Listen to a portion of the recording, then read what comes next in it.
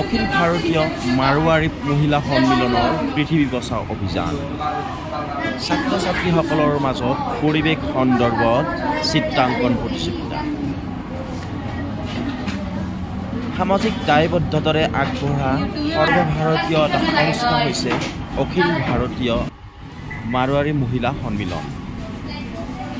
দেশ ৰাজ্যৰ লগতে নলবাৰী জিলাতো উক্ত সংস্থাৰ মহিলাসকলে বিভিন্ন ধৰণৰ সামাজিক দায়বদ্ধতামূলক কাম কাজ কৰি আহিছে।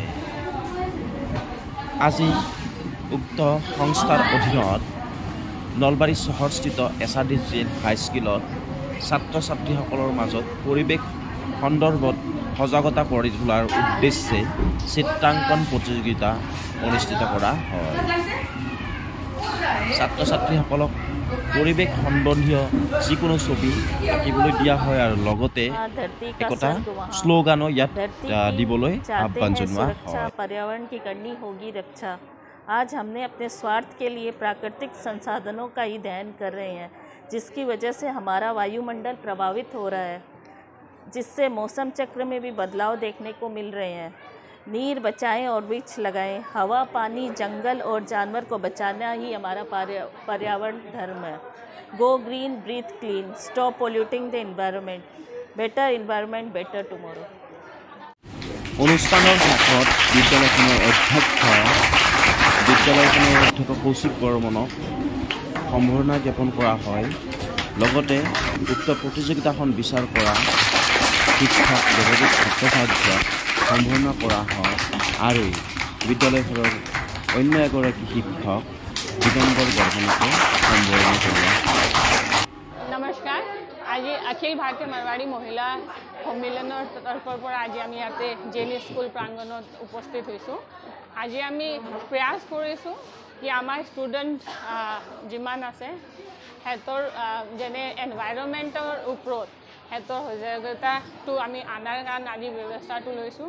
এনেইতো আমি সকলোৱে জানোৱে এনভাইৰমেণ্টটো কিমান ইম্পৰ্টেণ্ট আছে আমাৰ কাৰণত সকলোৰ কাৰণত আমি যেতিয়া জীয়াই থাকিম আমাকে এক অক্সিজেনটো লাগি থাকিব। অক্সিজেনটো ক'ৰ পৰা পায়? আমি প্লান্টেশ্যন যিমান বেছি কৰি থাকিলেই আমি এইবিলাক সুবিধাটো পাই থাকিম।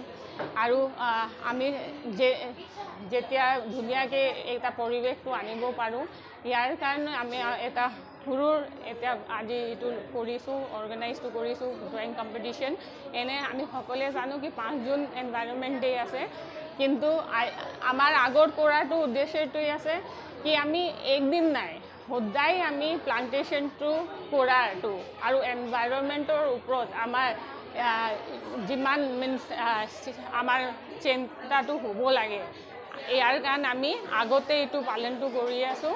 আৰু সকলোকে এটাই আমাৰ অনুৰোধ থাকিব কি আমি সদায় আমাৰ হাতৰ পৰা যিমান প্লান্টেশ্যনটো কৰিব পাৰোঁ আমি কৰি থাকিম আৰু কৰিব লাগে। ইয়াৰ কাৰণে আমি আজি বাচ্ছাৰ ওচৰত এটা অনুৰোধ কৰিছোঁ যেতিয়া সিহঁতে যিমান বাচ্ছাবিলাক আছে এটা এটা প্লান্টেশ্যন যেতিয়া সিহঁতে কৰে এইটো আমাৰ অনুৰোধ সকলৰ আগত থাকিব। ধন্যবাদ।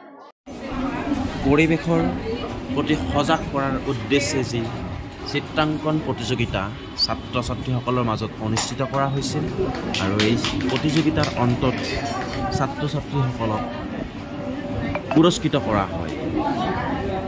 কেইবাগৰাকীও ছাত্ৰ ছাত্ৰী পুৰস্কাৰ পাবলৈ সক্ষম হয় আৰু এই ছাত্ৰ ছাত্ৰীসকলক পুৰস্কাৰ জ্ঞাপন কৰি উক্ত সংস্থাৰ প্ৰতিগৰাকী মহিলাই সকলো ছাত্ৰ ছাত্ৰীক পৰিৱেশৰ প্ৰতি সজাগ হ'বলৈ আহ্বান জনায় আৰু পৰিৱেশ ৰক্ষাৰ কাৰণে যি দায়িত্ব সেই দায়িত্ব পালন কৰিবলৈ আহ্বান জনায়।